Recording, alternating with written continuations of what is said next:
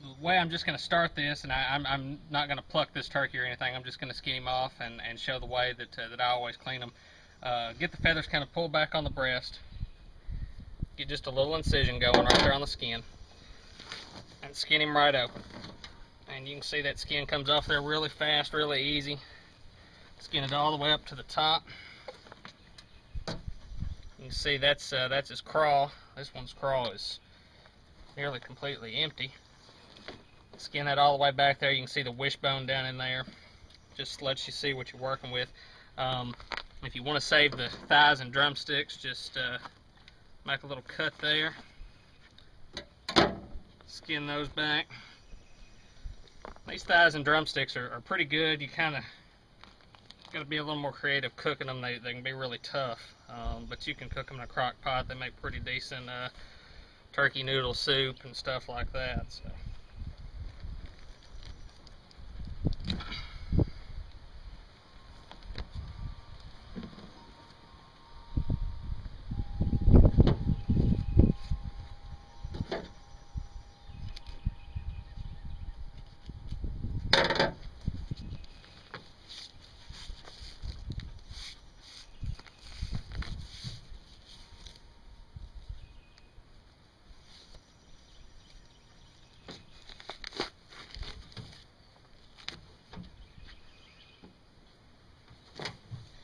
Alright, that turkey's pretty well skinned off.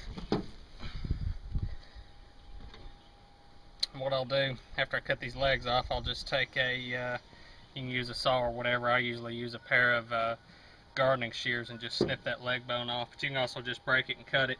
But from here, just uh, take your knife, go right down the edge of the breastbone,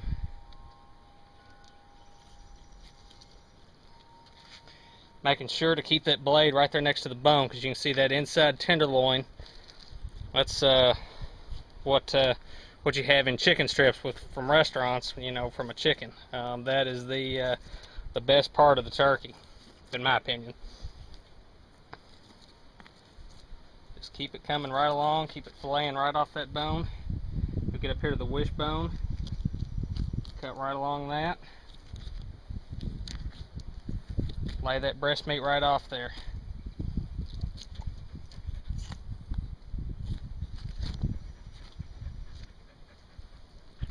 Voila. There's uh, one half of it. Same thing on the other side.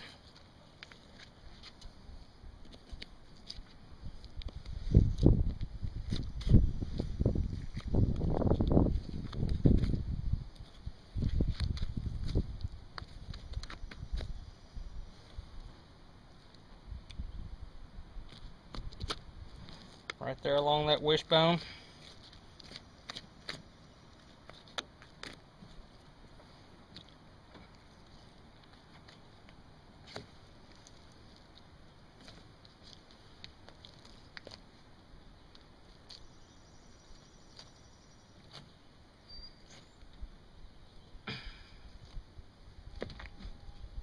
And there you go. Take that in, wash it up, clean it up a little bit. Now, cut these legs off. You can see that leg bone's right there.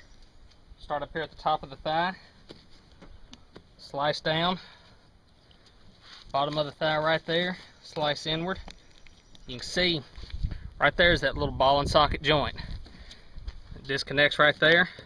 Cut that tissue around it, take it all the way off,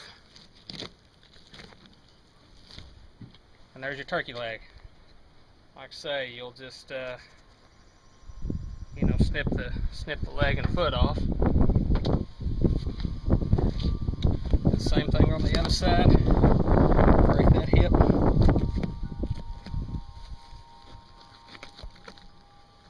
Ball and socket breaks out. I think I just poked my cameraman in the face with a turkey foot. And there you go. That's it. That turkey is clean. Wash that meat up a little bit. Cut the feet off because I'm not going to fry them and probably going to be eating some turkey here in just a few short hours. So you know, cleaning turkeys is, is pretty simple. Um, they're delicious to eat. You know, you do uh, their their internal body temperature is really high. You do want to try to after you kill a bird, you do want to try to get it cleaned as quick as possible, get that meat chilled and, and trimmed up. But uh, when you do that, they're just about the best eating wild game that walks. So that's all there is to it.